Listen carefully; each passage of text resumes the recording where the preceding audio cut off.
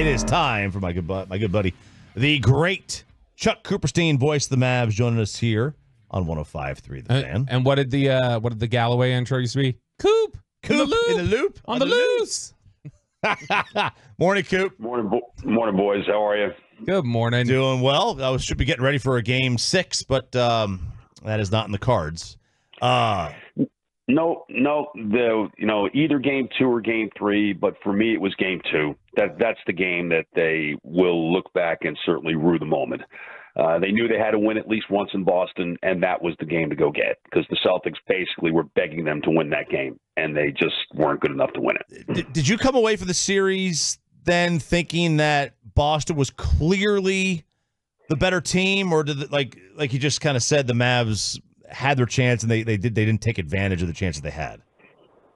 I think Boston was definitely better. Uh, I don't think it was necessarily, you know, as dominant as it's uh, being made out nationally. Look, there, there were two home blowouts for the Celtics. There was one home blowout for the Mavericks, and there were two swing games, uh, you know, at either place, both of which went Boston's way. Uh, that again, very easily could have gone the Mavericks' way. So, I mean, to me, I mean, I always thought it was going to be at least a six-game series, uh, and even more so probably a seven game series. But hey, that's what happens. Boston, Boston is 80 and 21. Uh, you know, it's one of the great seasons uh, in the modern NBA.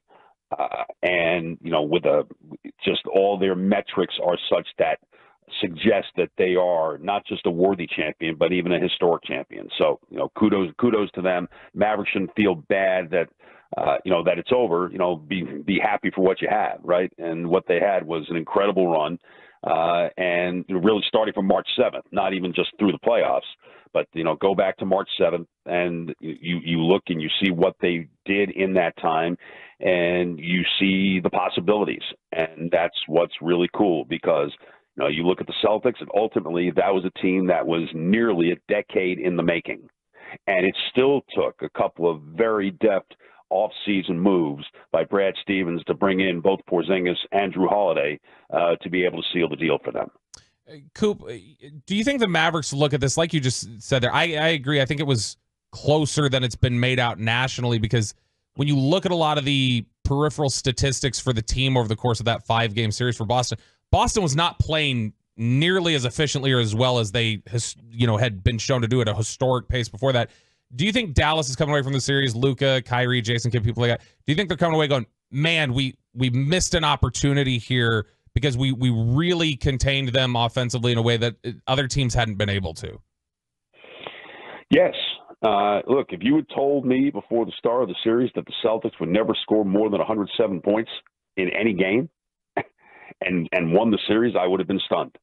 Would absolutely have been stunned because there was no way that you could tell me that any team that had Luka, even in a somewhat compromised state, and Kyrie would not be able to score, and in fact could not score 100 points in all four of their losses. Mm. Never, never was on the bingo card here, kids. Nope. Uh, so, um, you know, I think if nothing else, uh, the great thing about the playoffs and the finals in particular is number one, it, it shows the flaws of your team and it ultimately shows what you need to work on in order to get to the ultimate goal. And I think it's it's pretty clear here uh, what the Mavericks need, uh, and not that they're going to be able to achieve it, but uh, you know the idea of having a third ball handling guard who can really create his own shot. Um, kind of like what they had two years ago with Spencer Dinwiddie, when when Dinwiddie played the best that he's ever played in his life. Uh, you know, I don't know that Dante Exum is that player, uh, even though there are things that he does really well offensively that help them. But I mean, I think you definitely need that type of player so that Luka and Kyrie uh, can't be uh, focused upon to the point that they were, and it completely bogged down the entire offense. So, uh, to, to, me, that's that was the thing that came, most came out of the series. Um, you know, it's, it's what your weaknesses are, and and how do you address it at the highest level. It may not necessarily matter in February, but it could very well matter in May and June. Talking with Chuck Cooperstein, the radio voice of the Dallas Mavericks here on 105 through the fan. Uh, Coop, there was a lot made, of course, obviously about the return of Kyrie to Boston and and the atmosphere there. It was obviously a very loud and intense atmosphere. But this was something we had asked Mike Breen last week, and I was curious for your take on it. Was it really a a? Did you feel like it was a hostile environment for Kyrie, or did you feel like it was a a intense environment, but it was no different than just an intense playoff environment, the way playoff environments tend to be? Oh no, it was hostile. It was definitely hostile. Um, I, I've never. The only time I've ever seen anything uh, really addressed to one player the way this was was when Kiki Vandeweghe back in the day used to come to the uh, to Reunion Arena after you know the, he rejected playing for the Mavericks. Uh, you know, wound up playing with Denver. Was a great player, and every time he touched the ball, at least certainly in the early years, it, it, uh, as it moved on, it kind of became comical because everybody knew what the drill was. Uh, but in the crucible of the finals, uh, it, it, was real, and it not just in the building. Look, it's it's all over town. I mean, when you're selling T-shirts mm. that say "Kyrie sucks," I mean, it's real. I mean, no, I don't know that anybody literally has had to go through that. Coop, was this a bad matchup physically for Kyrie? Like, were, were defensively, were they too strong, too big? Was it just a bad matchup for him? in some ways, yes.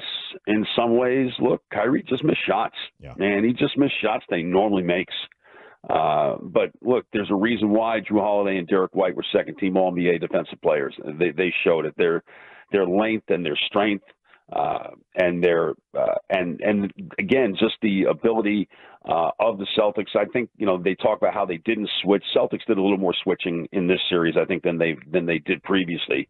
Uh, but all of them have the ability to guard, and uh, you know Kyrie couldn't quite get to the rim as easily as he could and did in some other series. In a lot of ways, this was like the Oklahoma City series for Kyrie, where he, you know the length of Oklahoma City, not necessarily strength, but the length really bothered him. Um, you know, in the other two series against the Clippers and, and Minnesota, it really didn't. Um, but give full credit. Hey, Derrick White, how did the Spurs give him up? I mean, seriously, yeah, I mean, yeah. that's exactly that's exactly the guard they need to play with Wembanyama, right? I, mm-hmm. How did how did they do that? And you know, look, you you know how Holiday wound up there. I mean, it's and it just blame Milwaukee for that. I mean, what would what were they thinking? Why did they think that bringing in Damian Lillard to replace Jrue Holiday would work? You know, there's a reason why Jrue Holiday has uh, now won two championships and is going to be on two Olympic teams. He's one of those guys that simply wins. He does whatever you need him to do for your team to win. Coop, you know, this was obviously a, a big part of the the consolation, I guess, a lot of people nationally seem to be trying to give the Mavericks was, hey, you know what? This is just the beginning. Luka's going to be back here. Uh, the this you know the Mavericks will get back here. He's he's got this in his future, and it reminds me back a little bit to it felt like there was similar discussion about Devin Booker when the Suns lost. And since then they've had trouble. How does what what needs to occur this offseason, do you think, for the Mavericks to ensure they do get back there and that this isn't a defeating moment that prevents them from progressing? Well, first off, there's nothing that ensures anything. Okay? Uh, look at the Western Conference. I mean, look at the Western Conference and the quality of those teams. Uh, number one, that made the playoffs, uh, number two, of those teams, how many of them went through injuries uh, during the playoffs? And then look at teams like Houston and San Antonio that and that you know are going to get better. I mean, you know Wembanyama is going to get better, and they've got two picks in the top eight of the draft. I mean, they're definitely building something. Uh, and Houston is definitely building something and building a culture with Ime Udoka coaching them. They were far better this year than they were last year. And Utah, if uh, they would ever stop letting go of the rope midway through the season. I mean, they, they're a, they are a highly competent team. Every game in the West, you play 52 games in the West, and really, other than your games that you were playing against Portland, which also has two first-round picks this year, uh, you know, those games are wars. Uh, and it does take a lot out of you, let alone what, what happens when you get to the playoffs where everything is matchup dependent. So um, there's nothing that ensures it.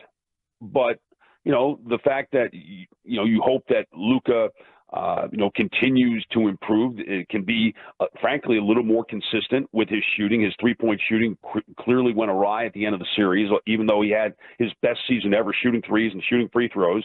Um, you know, hopefully he can, you know, stay in the shape that he was in really for the first two thirds of the season.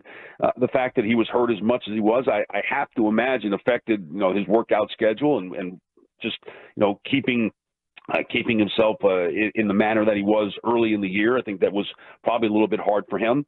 Uh, but uh, you know, it's it's it's not like this team needs an entire overhaul. As, as I mentioned, they they need a third ball handler. Uh, they can use probably somebody you know bigger who can stretch the floor uh, as as Lively and uh, and Gafford really are rollers. I mean, we saw Lively make that three in Game Four, and he may eventually get to that point. But uh, I don't know that he's necessarily going to be there next year to where that's a reliable part of his offense. I mean, I just don't see him standing out there and taking three three pointers a game next year. But I do think that it's something that he will ultimately work on. And by the time he's 24, and let's remember he's just uh, like 20 years and 125 days old, uh, he'll get there. Uh, so there's there's not necessarily a lot. There certainly are things that can be improved upon, but the road next year is not going to be any less difficult than it was this year. Coop, do we have any idea? Because Cuban, there's a report that Cuban's role is now completely changed from last year. Do we have any idea the new ownership, like how they want to approach spending and stuff in the offseason? Any kind of knowledge of that? Um, I, I think we we don't know much. You know, I know that uh, they held a news briefing on Friday of Game Four, which was a very odd time in my eye t- for them to do that. Maybe because they knew everybody else would be everybody else's attention would be focused elsewhere. But um, I mean, I, I haven't seen anything internally as far as you know staff and whatnot that would prevent them and prevent this group from spending whatever they feel they need to spend in order to win. And what they have done, it appears, is put their faith in Nico Harrison. And given what Nico's done, why wouldn't you put your faith in him? He's done a mm-hmm. phenomenal job yeah, yes. in, in, in building this thing and being creative. And let's face it, uh, you know, the Mavericks, you know, there have been a, a, lot of times in these three years where you're wondering, like, how are they going to do this and what what's going to happen, and you know, all of a sudden you see stuff happening that, uh, frankly, didn't always happen in the past. So, um, you know, I think that they're they pretty much have put their faith in Nico to uh, to uh, you know build the team as he sees the team. and at least you know if it means you know spending a little more money uh, you know, I think they're willing to do that. You know, let, us see if they're willing to go into the second apron. I don't know if that's your question or not. Uh, I, I don't know that they're necessarily willing to do that right now, and nor do I think that they really have to go do that right now. Mm-hmm. But um, I, I think I think the the franchise is in a pretty good place. Sixty six days till college football, right around the corner. 66 days to college football, and believe it or not, like only about like 110 days until like the Mavericks play a preseason game again. oh. Short off season for Luka, and then the Olympics.